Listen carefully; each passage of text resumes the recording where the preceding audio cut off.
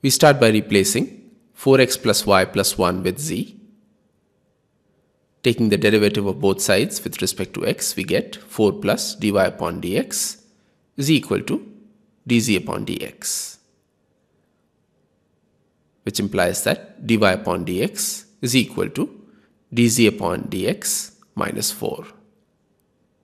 Therefore, the given differential equation dy upon dx is equal to 4x plus y plus 1 whole square can be written as dz upon dx minus 4 is equal to z square.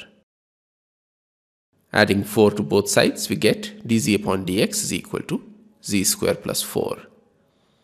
Now separating the variables, we get dz upon z square plus 4 or z square plus 2 square is equal to dx. Integrating both sides and introducing a constant of integration, say c upon 2 on the right hand side, this becomes half of tan inverse z upon 2 is equal to x plus c upon 2.